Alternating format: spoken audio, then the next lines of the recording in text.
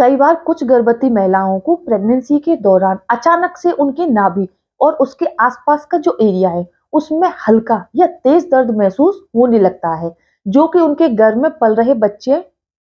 नमस्कार दोस्तों, मैं खुशबू तोमर एक बार फिर से स्वागत करती हूँ आपका प्रेगनेंसी से रिलेटेड एक और नई वीडियो में। जहाँ पर आज के वीडियो में हम जानेंगे कि प्रेगनेंसी की दूसरी तिमाही के दौरान कुछ गर्भवती महिलाओं को अचानक से उनकी नाभि और उसके आसपास के एरिया में हल्का या तेज दर्द, खुजली और जलन क्यों होने लग जाती है? इसके क्या कारण है? और इसे घर पर रहकर घरेलू तरीके से कैसे ठीक किया जा सकता है? जिससे कि घर में रहे बच्चे को भी कोई दिक्कत ना हो और आपकी प्रेगनेंसी भी अच्छी तरह से चलती रहे। साथ ही आगे वीडियो में हम ये भी जानेंगे कि क्या प्रेगनेंसी के दौरान गर्भवती महिला के नाभि और उसके आसपास होने वाला जो दर्द है, उससे घर में पल रहे बच्चे को कोई खतरा हो सकता है या फिर ये नॉर्मल है? इन सारी बातों को जानने के लिए आप वीडियो में अंत तक बने रहें और अगर अभी तक आपने मेरे चैनल को सब्सक्राइब नहीं किया तो जल्दी से मेरे चैनल को सब्सक्राइब करके बेल आइकन को प्रेस करना ना भूलें, जिससे मेरे वीडियो की नोटिफिकेशन आपको मिलती रहे। तो चलिए फ्रेंड्स बिना देरी किए हुए फटाफट से वीडियो को स्टार्ट कर लेते हैं। तो देखिए फ्रेंड्स प्रेगनेंसी की पहली तिमाही, यानी कि पहले, दूसरे और तीसरे महीने के दौरान आपके पेट पर किसी भी तरह का दबाव नहीं पड़ता है, जिससे आपकी नाभि में किसी भी तरह का दर्द या फिर जलन, खुजली नहीं होती है। लेकिन प्रेगनेंसी की दूसरी तिमाही, यानी कि चौथे, पांचवे और छठवें महीने के दौरान आपका गर्भाशय, आपकी नाभि और आपकी ब्रेस्ट के बीच में फैलने लग जाता है, जिससे कई बार आपको आपकी नाभि के आसपास दर्द महसूस हो सकता है और नहीं भी हो सकता। लेकिन तीसरी तिमाही के दौरान आपका पेट तेज़ी से बढ़ता है, यानी कि सातवें, आठवें और नौवे महीने के दौरान आपका पेट बहुत ही तेज़ी से बढ़ता है, आपके बच्चे का आकार भी बढ़ता है, जिससे जब आपका बच्चा नाभि के आसपास ही रहता है तो इससे आपकी नाभि पर दबाव पड़ता है और इससे आपकी नाभि में आपको दर्द महसूस हो सकता है, जलन भी हो सकता है, आपको नाभि में इन्फेक्शन भी हो सकता है और खुजली हो सकती है। खुजली होने पर अगर आप नाखूनों से अपनी नाभि या इसके आसपास के एरिया को खोजा लेते हैं तो इससे आपके घर में पल रहे बच्चे को प्लेसेंटा के ज़रिए इन्फेक्शन होने का खतरा भी बना रहता है। क्योंकि आपका जो बच्चा है, वो प्लेसेंटा के ज़रिए ही आपके आपके शरीर से पोषक तत्व, ऑक्सीजन और ब्लड लेता है, जिससे आपके बच्चे की ग्रोथ होती है, डेवलपमेंट होता है और आपकी जो प्लेसेंटा है, वो आपके नाभि से जुड़ी हुई होती है। अगर आप नाभि को खुजाती हैं तो इससे आपके घर में पल रहे बच्चे को बहुत बड़ा खतरा भी हो सकता है। अब जानते हैं कि प्रेगनेंसी के दौरान कुछ गर्भवती महिलाओं को, दूसरी तो कुछ गर्भवती महिलाओं को उनकी प्रेगनेंसी की तीसरी तिमाही के दौरान उनके पेट में दर्द क्यों होता है, खुजली और जलन क्यों होती है, इसके प्रमुख कारण क्या हो सकते हैं? सबसे पहला कारण है खिंचाव। जी हाँ फ्रेंड्स जैसे जैसे आपकी प्रेगनेंसी का समय आगे बढ़ता है और आपकी प्रेगनेंसी का सातवां, आठवां और नौवा महीना आ जाता है तो इस दौरान आपके घर में आपके बच्चे का आकार भी बढ़ता है, आपके गर्भाशय भी बढ़ता है और आपका जो पेट है उसका आकार बढ़ने लग जाता है, जिससे आपके नाभि के आसपास की स्किन और मांसपेशियों में खिंचाव आता है,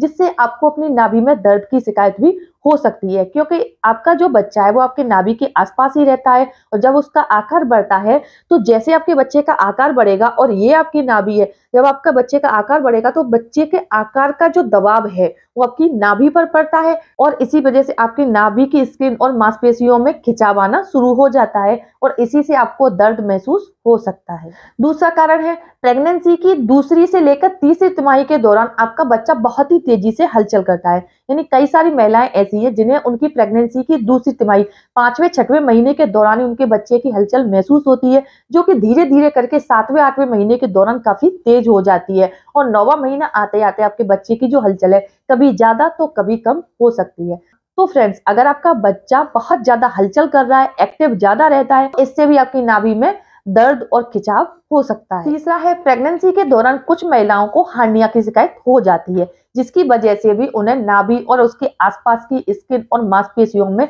दर्द की समस्या बनी रहती है। हालाँकि प्रेगनेंसी के दौरान होने वाले हार्निया से घर में पड़ रहे बच्चे पर कोई भी बुरा असर नहीं होता है। अगर आप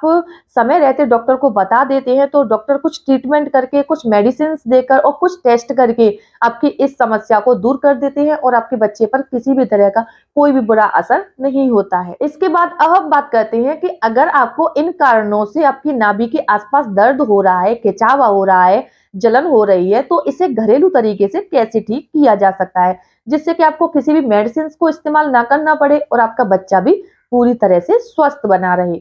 सबसे पहला तरीका है कि अगर आपको नाभि में दर्द, खिंचाव और खुजली की समस्या रहती है, बहुत ज़्यादा दर्द रहता है तो ऐसे में आप कोशिश करें कि रात को सोते समय आप करवट लेकर ही सोएँ और ज़्यादातर आप कोशिश करें कि आपको लेफ़्ट करवट लेकर ही सोना है, क्योंकि लेफ़्ट करवट लेकर अगर आप सोती हैं तो इससे आपके बच्चे तक ऑक्सीजन, ब्लड की सप्लाई और पोषक तत्वों की जो सप्लाई है, वो अच्छी तरह से होती रहती है और आपको भी नींद काफ़ी अच्छी आती है। इसके साथ ही आप कोशिश करें कि आप जब भी लेफ़्ट करवट लेकर सो रही हैं तो अपने पेट के नीचे सॉफ्ट एक से दो तकिया ज़रूर लगा लें, जिससे कि आपके पेट पर दबाव नहीं आएगा और आपको पेट में दर्द और नाभि में दर्द की शिकायत भी नहीं होगी। दूसरा तरीका है कि प्रेगनेंसी के दौरान अगर आपको नाभि में दर्द रहता है, खिंचाव है, जलन है कुजली है, बहुत ज़्यादा दर्द रहता है, जो सहा नहीं जाता है, और इस दौरान आपको घर के काम भी करने हैं,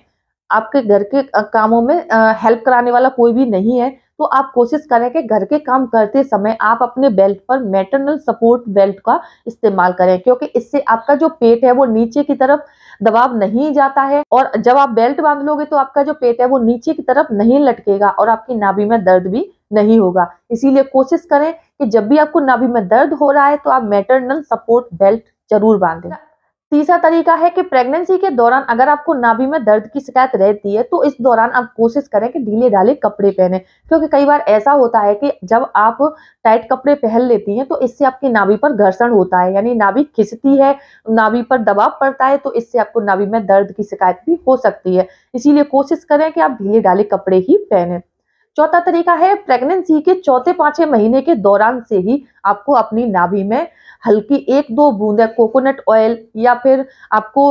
शुद्ध सरसों के तेल की एक दो बूंदे दिन में दो से तीन बार अपनी नाभि में डालते रहना है। एक तो इससे आपकी नाभि में खुजली जलन नहीं होगी, आपकी नाभि में नमी बनी रहेगी और आपको नाभि में दर्द की शिकायत भी नहीं होगी। इसीलिए कोशिश करें कि प्रेगनेंसी के दौरान आपकी नाभि में खिंचाव ना आए, दर्द ना हो, खुजली ना हो इसके लिए आप चौथे पाँचवें महीने के दौरान से ही अपने पेट के आसपास की जो स्किन है, उस पर अच्छा मॉइस्चराइजर, लोशन फिर बायो ऑयल का इस्तेमाल भी कर सकती हैं। बायो ऑयल नहीं तो आप एलोवेरा जेल का इस्तेमाल भी कर सकती हैं, कोकोनट ऑयल का इस्तेमाल भी कर सकती हैं। क्योंकि अगर आप पेट बढ़ने से पहले ही अपने पेट पर इन सारी चीज़ों का इस्तेमाल करते रहते हैं तो जब आपके पेट में खिंचाव आएगा, आपके पेट की स्किन खिंचेगी तो उस पर स्ट्रेच मार्क भी नहीं आएँगे और आपको दर्द, खुजली जलन ऐसी शिकायत भी बिल्कुल भी नहीं होगी। तो फ्रेंड्स प्रेगनेंसी के दौरान आपको इन छोटी छोटी बातों का भी बारीकी से ख्याल रखना है और फॉलो भी करना है, जिससे आपको भी किसी भी तरह की दिक्कत ना हो और घर में पल रहा बच्चा भी पूरी तरह से स्वस्थ रहे हेल्दी रहे। अगर ये वीडियो आपको हेल्पफुल लगी है, पसंद आती है तो प्लीज़ मेरे वीडियो को लाइक करें और अपने फ्रेंड्स और रिलेटिव्स में शेयर करना ना भूलें। साथ ही मुझे कमेंट में ज़रूर बताएँ कि क्या आपको भी प्रेगनेंसी के दौरान अपनी नाभि के आसपास दर्द जलन या खुजली की शिकायत हो रही है। अगर अभी तक आपने मेरे चैनल को सब्सक्राइब नहीं किया है तो जल्दी से मेरे चैनल को सब्सक्राइब करके बेल आइकन को प्रेस करना ना भूलें, जिससे मेरी वीडियो की नोटिफिकेशन आपको मिलती रहे। तो चलिए फ्रेंड्स मिलते हैं नेक्स्ट टाइम एक नई वीडियो में नई जानकारी के साथ। तब तक के लिए खुश रहें, स्वस्थ रहें और अपनी प्रेगनेंसी को अच्छे से इंजॉय करें। धन्यवाद।